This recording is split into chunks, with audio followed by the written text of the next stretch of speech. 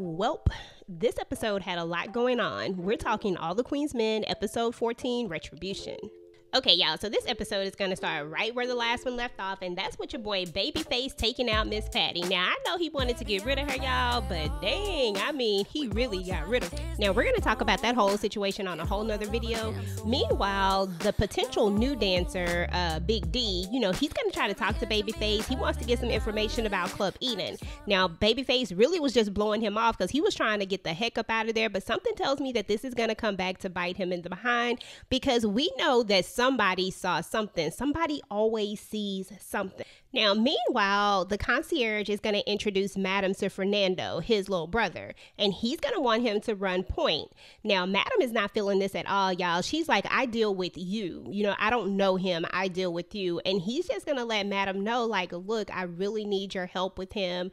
You know, you're the best person to handle this situation. And we're going to find out that Fernando was in prison and that his brother wants him to be a part of the business. But in order for him to be a part of the business, he has to know how to handle himself He has to calm down. I mean, apparently he's a hothead. Now, not only does Raphael want Madam to help with his brother, but he also tells her, like, look, I got to put some distance between the two of us because my wife is on one. Now, we all know that Lotus made quite the threat to her husband. She told him that if she even thought that he had any type of feelings or was even the least bit interested in her, that she would have her gunned down in the street. And she seemed to have meant that. Now, although Raphael says that they need to put a little bit of distance between them, Madam asks, when is she going to see him again? And he's like, whenever you like. And I'm just like, okay. But anyway, y'all, she's going to want to see him later that night and they're going to make plans to see each other. So, you know, it is what it is. So, meanwhile, your girl Blue is going to call our good friend, the devil in the blue dress, Jenna, and she's just going to check in on her. But when she talks to Jenna, she's going to be like, hey, like, why is your cell phone not on? And Jenna's going to be like, I didn't want my husband to track me, you know. And in this moment, you know, we're going to realize that she is really, really scared of her husband. And she's just letting Blue know, like, you know, I, I, don't want him to be able to find me. And Blue is like, is he really that bad? Now, meanwhile, as we're looking at this, we've already kind of figured out that Fernando more than likely is the husband that she's speaking of. And he just happens to be right there at Club Eden. And he and Blue are about to have an encounter with each other, which further lets us know that these two are definitely about to clash. So anyway, y'all, Fernando comes out and he's talking to Blue about this whole situation about the club and like saying, what is it? And you know, it makes this much money. And Blue is just annoyed by this whole dialogue with him. Like she just doesn't want to talk to him. And he tells her that she has a nasty attitude. So now, before I forget, Madam did agree to let Fernando run point and to help him out and to do what the concierge asked her to do, basically. So he will be showing at the club a lot, and this is going to be so much fun to watch, y'all. So anyway, back to the junkyard guy, the racist junkyard guy that actually wants him some dark meat, like literally, y'all. Like he he he want amp real bad. I mean, you just can't make this stuff up, y'all. Now, meanwhile, Midnight and Doc are going to be having a conversation because, of course, Doc is still going through something. And that whole Teresa situation has really gotten to him seeing that baby die like that, seeing her jump out in front of the bus. Like, you know, it just is what it is. But Midnight is there for his friend and just lets him know that they've been through a lot of stuff.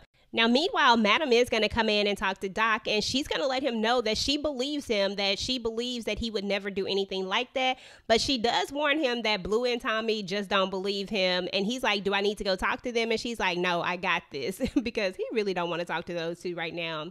Now, meanwhile, Dime is out here talking to Blue, and she is just on one, y'all. Dime just needs to calm down, like, cause she been working my nerves for real. Like, she just be like on a hundred. I get it, I really do.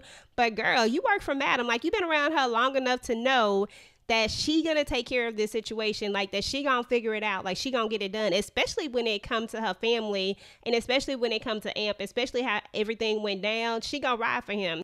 Now meanwhile your girl trouble y'all old trouble. She is really trying to get back at casanova for what she assumed he was gonna do. Now she believes that he was gonna hit her and so now she's gonna be like i'm gonna show him i'm gonna show him you don't mess with me you know? So she has this grand plan of getting all her people together and they gonna jump him, you know. So she's been trying to be really, really cool with him. She even tells him how she gonna get his record uh, back for him how she gonna talk to Tommy and get it back from him and all this good stuff. So she talks him into not leaving because he was actually about to leave. And I'm just like, dude, you supposed to be a cop. Like, like you should be able to read the bullshit because trouble is doing nothing but BSing you right now. But anyway, he decides to stay and when it all comes down to it, trouble ends up telling him to go and get his stuff back. And when he tries to go get it back, he just gets shot down. And Tommy's just like, get the heck up out of here. Like, I was like, bro, you was not finna get that back at all. Like, I know you didn't really think that that's what was about to happen.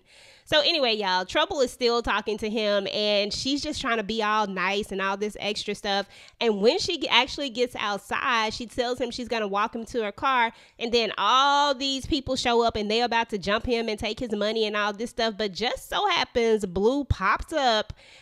and she ends up saving your boy Casanova because he was about to get the business for real. Now, this is going to be really awkward if he actually comes back to work and you're there. I mean, I don't even know how this is going to work out. So, anyway, Blue ends up telling her, Look, don't bring no mess like that up here no more. Do not bring that kind of heat up to the club. So, hopefully, Trouble will listen and sit her behind down somewhere, y'all. So, anyway, y'all, your girl Madam gets everybody cleared out of the club so that she can bring those junkyard men in so that they can talk and discuss what's needed in order for her to go and get her nephew back.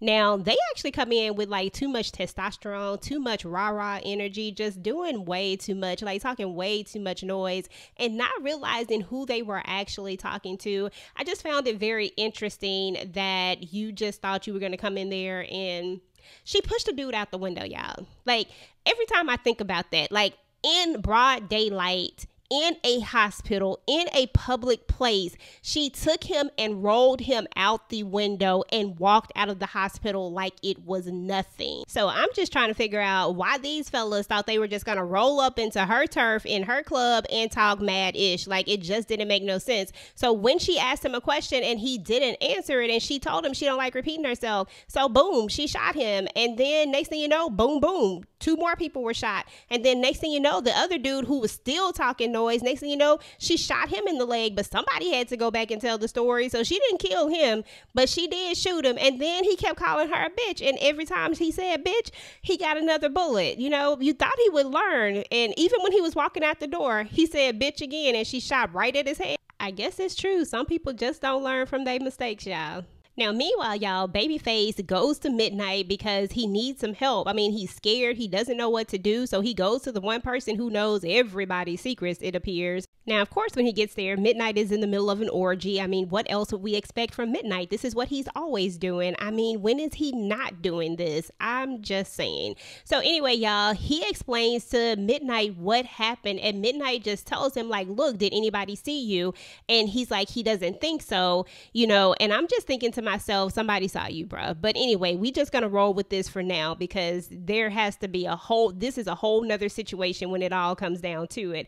And then Midnight is gonna tell him like, look, at this point, she just jumped you know. So, in my opinion, it really didn't help because I feel like this is going to come back to bite him at some point. I don't think that that's really a solution to the problem, but also, what can he really do? I mean, when you really think about it. Now, Midnight is going to tell him, hey, you can stay here tonight because they're probably going to be looking for you because he believes there's a warrant out for his arrest for that whole phone call that Miss Patty made. Madam is going to have a lot of mess to clean up with these fellas because they just doing the most. And I'm telling you, y'all, El Fuego is going to get caught up in something at some point because everybody seems to be in something. So, meanwhile, y'all, the guy has made it back to his fearless leader, Dexter, weirdo Dexter, and he brought him a present. And he looked in the bag, and turns out Madam has cut the heads off of those fellas and sent it right back to him. And I was just like, dang and you still want to mess with her, right? She literally just cut the heads off of your men and sent them back to you.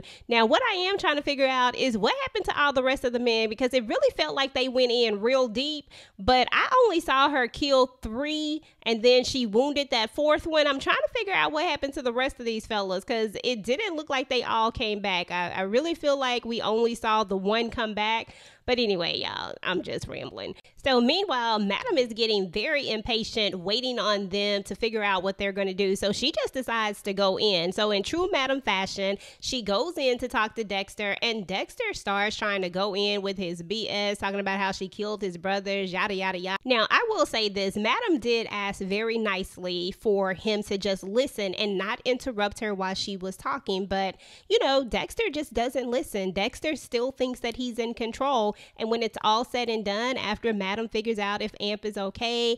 After, you know, she tries to have a conversation, she tries to make a trade, he just won't shut up. So she just cuts his throat. And, you know, there's that. Now, meanwhile, oh boy that actually came to the club to give the message is sitting there bleeding out, but he's not saying anything, but he's actually not dead yet. He's just kind of sitting there, y'all.